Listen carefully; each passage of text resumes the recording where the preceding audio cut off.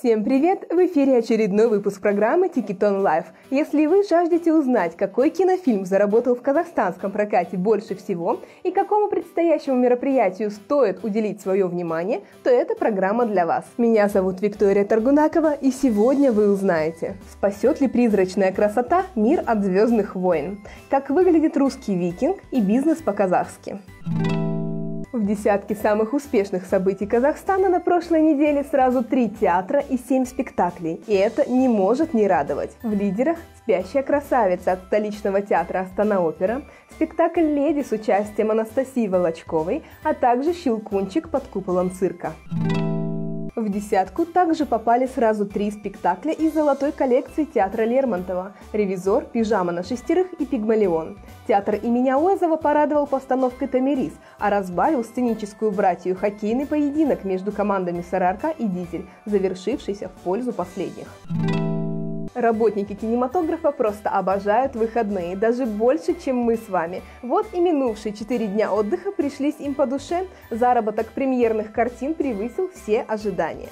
Сиквел «Звездных войн», которого, кстати, особо не ждали, стартовал с лидирующей позиции в каждой из 54 стран проката. Казахстан не стал исключением. Практически 255 миллионов тенге за уикенд. Мировая копилка фильма составила 135 миллионов долларов. На второе место сместилась «Принцесса Муана». Третья неделя проката принесла мультфильму похвальные 198,5 миллионов тенге. В мире сборы картины просели до 19,5 миллионов долларов – во многом потому, что студия Дисней не стала стравливать два собственные произведения и оставила открытие новых стран для мультфильма на период детских каникул. Замыкает тройку «Призрачная красота». В мире картина заработала скромные 12 миллионов долларов, а вот казахстанцы, напротив, расщедрились на 139,5 миллионов тенге. Вот что значит громкий актерский состав и положительные отзывы первых зрителей.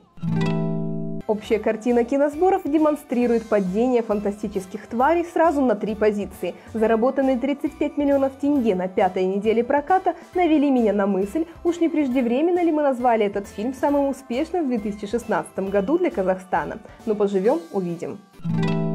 Что мы знаем о викингах?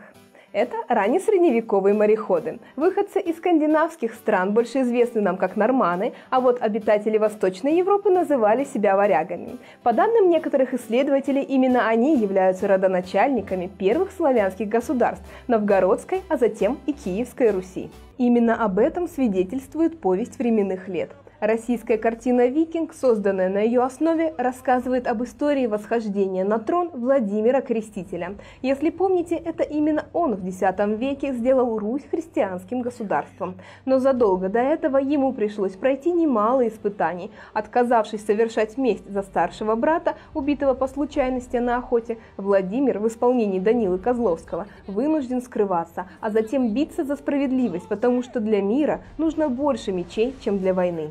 Картина построена по крупицам, ведь свидетельства тех времен крайне малы, и говорить о них можно с той же свободой, как о «Властелине колец» применительно к Руси. А вот сюжет кому-то сможет напомнить другую известную сагу об одном принце датском. Когда снова пойдет дождь, вспоминай обо мне. Ты предала всех!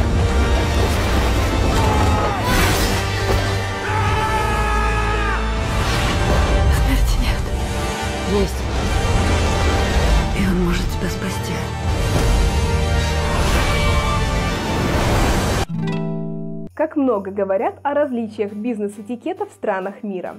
От японцев нельзя дождаться однозначного ответа. Американцы могут вести с вами деловую беседу, сложив ноги на стол. А вот испанец не придет на встречу, назначенную в полдень, ведь у него фиеста. Что же касается Казахстана, то здесь человек человеку не волк, а туискан родственник. Вот и герою очередной авантюрной комедии «Бизнес по-казахски» пришлось применить всю свою врожденную смекалку, чтобы угодить иностранному инвестору. Как назло, все сотрудники его гостиницы поувольнялись. Видимо, руководитель из главного героя Жо Марта не очень. Зато он отличный сын, брат, сват, внук, ну и так далее. Собрав всех своих многочисленных родственников из аула, Жо Март собирается реабилитировать свою гостиницу, ведь своих в беде не бросают. Режиссером картины выступил известный клипмейкер Женисхан Момышев, исполнителем главной роли и продюсером Нурлан Куянбаев. Интересно, участвуют ли в картине родственники известного КВНщика? Я управляющий гостиницы. Зовут меня Олен. Олень? Извините, помогите, пожалуйста, вещи донести. Чего таптмани? Руки-ноги есть, сам донесешь.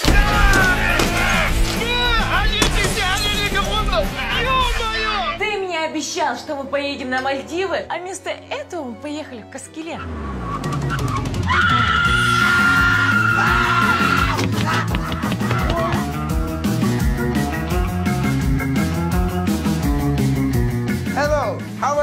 Are you? I find six. And you? Новогодняя суматоха в самом разгаре, а это значит, настало время снова поверить в чудо. И помочь в этом могут многочисленные сказочные мероприятия. Для детей и их родителей череда елок и праздничная круговерть началась. В ближайшие пару недель нас порадует Щелкунчик под куполом цирка. Новогоднее шоу Мурата Мутурганова с волшебством и фокусами. И даже дельфины празднуют Новый год со специальной новогодней программой. А для любителей оригинальных празднеств Country Club Чемберлен поставил специальную новогоднюю сказку с участием лошадей, которые наверняка перевоплотятся в каких-то волшебных существ. И также не забываем про традиционные новогодние спектакли в наших дорогих театрах, оперы и балета, а также драматических по всему Казахстану. Ну а для тех, кого волшебство по каким-то причинам не интересует, уже завтра пройдет уникальный фестиваль Winter Nomad Vibes, на котором выступят самые креативные и прогрессивные артисты Казахстана – Лампы оркестра, Мольда Назар, Мольта Лаут, Фаренгейт и многие другие. Ну а теперь, когда мы с вами знаем, в кругу каких актеров и артистов мы проведем самые ожидаемые часы досуга, самое время узнать имя победителя нашего еженедельного розыгрыша. Обладательницей двух билетов в кино на этой неделе стала наша пользовательница по имени Дарья Нейман. Поздравляем и желаем приятного просмотра! Если вы, как и Дарья, хотите оказаться обладателем двух билетов в кино, пожалуйста, участвуйте в нашем розыгрыше. Для этого необходимо всего лишь поделиться данной видеозаписью у себя на страничках в социальных сетях с указанием хэштега TikTonLive38, а также быть подписанными на наши официальные паблики. Если же данный выпуск оказался для вас еще и полезным, пожалуйста, ставьте лайки. Мне будет очень приятно. На этом у меня все. Я желаю вам приятного досуга. Пока!